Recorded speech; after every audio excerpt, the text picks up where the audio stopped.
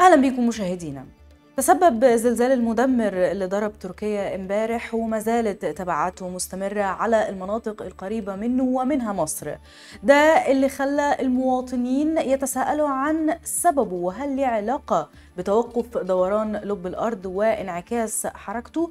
وإيه اللي بينظر بينذر باقتراب يوم القيامة؟ وهل هيتسبب في حدوث تسونامي في الإسكندرية ولا لأ؟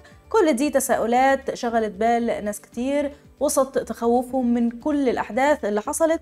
ودلوقتي هنحاول نجاوب على التساؤلات دي في تغطيتنا.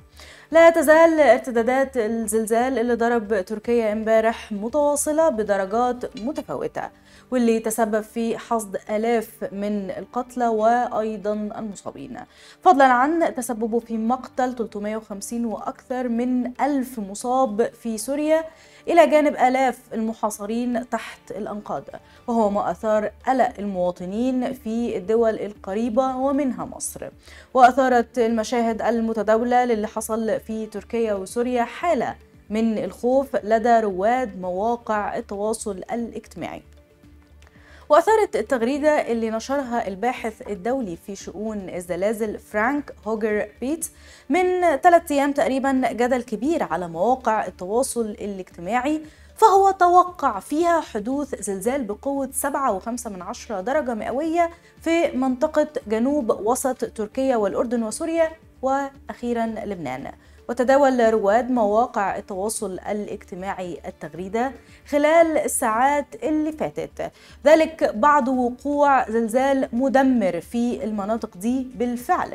وتوقع مركز التنبؤات اللي بيعمل فيه الباحث الهولندي فرانك استمرار حدوث هزات تابعة في المنطقة بقوة ما بين أربعة لخمس درجات وقد تزداد. فربط كثير من الرواد بين مركز التنبؤات والباحث الهولندي وبين تنبؤات ورصد الزلازل اللي رصدته منظمة اليونسكو وأعلنت عنه في نهاية عام 2022 واللي توقعت فيه حدوث تسونامي بشواطئ إسطنبول مارسيليا والإسكندرية واللي ممكن توصل لأكثر من متر خلال ال 30 سنة الجاية. وأشار رئيس مرصد الزلازل في تركيا أن الزلزال العنيف اللي ضرب تركيا وسوريا بينذر بخطر تسونامي في المحافظات الساحلية. وأكد أن تركيا أخطرت 14 دولة. لذلك الناس بقت خايفة من حدوث تسونامي بالفعل في مدينة الإسكندرية نتيجة الزلزال اللي حصل.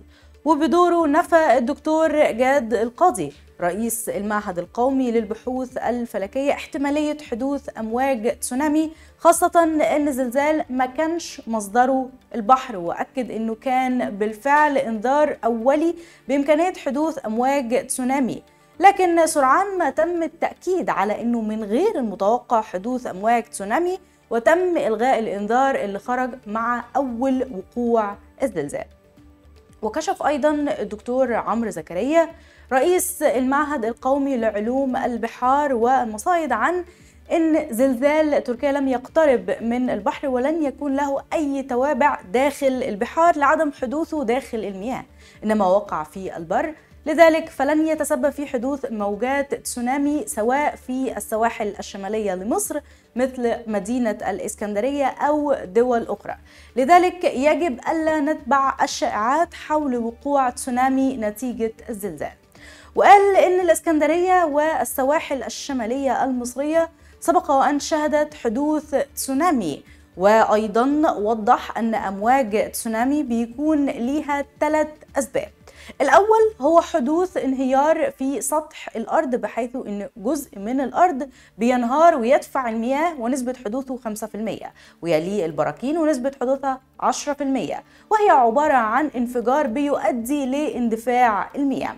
والسبب الأكبر واللي بيتسبب في حدوث تسونامي بنسبة 90% هو الزلازل ولكن لابد أن يكون قويا ويحدث به تصادم في الطبقات والعمق اللي بيسبب تسونامي ممكن توصل ل 3000 متر لتتوجه الأمواج إلى الشواطئ. وبالنسبة للتساؤلات الأخرى عن سبب حدوث زلزال تركيا وهل كان نتيجة توقف لب الأرض عن الدوران وانعكاس حركته وهل ذلك انذار باقتراب يوم القيامة؟ أجاب الدكتور جاد القاضي رئيس المعهد القومي للبحوث الفلكية وقال إنه لم يثبت بالدليل القاطع معدل دوران اللب الداخلي للأرض وإنه ملوش علاقة نهائي بيوم القيامة ولا توقف الأرض عن الدوران ولا شروق الشمس من الغرب. ووضح كمان إن الدراسة الجديدة بخصوص لب الأرض لا علاقة لها بيوم القيامة. ومن الجدير بالذكر إنه ممكن يضرب الإسكندرية اليوم طقس سيء مع نهاية شهر طوبة وبداية شهر زعابيب ورياح أمشير. واللي بدأ أول أيامه برياح قوية اتسببت في غضب البحر زي ما بيقول الإسكندرانية يعني. وأدى إلى ارتفاع الأمواج بشكل كبير. كمان هطول الأمطار اللي بدأت خفيفة في وقت الصباح ووصلت لغزيرة. الإسكندرانية بقى هزروا في التعليقات على السوشيال ميديا مع بعضهم بخصوص الموضوع ده بصور عن غضب البحر وقالوا إن التسونامي وصلت الإسكندرية. وعلى الرغم من كونها مجرد تعليقات ساخرة وهزار إلا إنها تسببت في قلق للأهالي خاصة مع متابعة الزلزال والوفيات القريبة في تركيا ولبنان. وتسببت الأمواج المصاحبة للنوة اللي في اسكندرية حاليا في حدوث هبوط برصيف طريق الكورنيش في مدينة الإسكندرية لمسافة 20 متر أمام شاطئ سيدي بشر. وقامت أجهزة هيئة حماية الشواطئ بالإسكندرية على الفور بالتنسيق مع أجهزة المحافظة بتكليف شركة المقاولين العرب بتنفيذ حماية عاجلة للمنطقة المذكورة وإصلاح الهبوط اللي حصل في الرصيف. وقال المهندس محمد غانم المتحدث باسم وزارة الموارد المائية والري إن قوة وشدة نوة الكرم اللي ضربت الإسكندرية أدت لهبوط رصيف بطريق الكورنيش وإن قوة الأمواج أدت لخروج بعض الرمال من أسفل الرصيف. كمان أشار إلى أن الرصيف تعرض لهبوط بسيط جراء ذلك وتم اتخاذ الإجراءات اللازمة للتعامل مع الهبوط وأكد اللواء محمد الشريف محافظ الإسكندرية.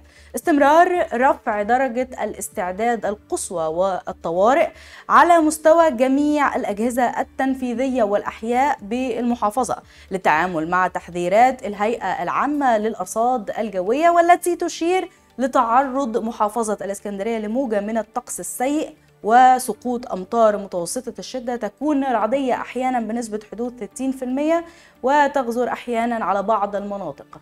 وأصدر المحافظ تكليفاته لرؤساء الأحياء وجميع الأجهزة التنفيذية المعنية بتكثيف التواجد الميداني على مدار الساعة بالشوارع لمتابعة تداعيات موجة الطقس السيء وأيضا رصد أي حالات طارئة للتعامل الفوري تجنبا لحدوث أي مشكلات في أي منطقة نتيجة سقوط الأمطار والتأكيد من تحقيق السيولة المرورية بكافة شوارع المدينة. أعزائنا المشاهدين بكده تكون انتهت تغطيتنا وللمزيد من الأخبار والتفاصيل زوروا موقعنا موقع صدى البلد الإخباري. بشكر حضراتكم وإلى اللقاء.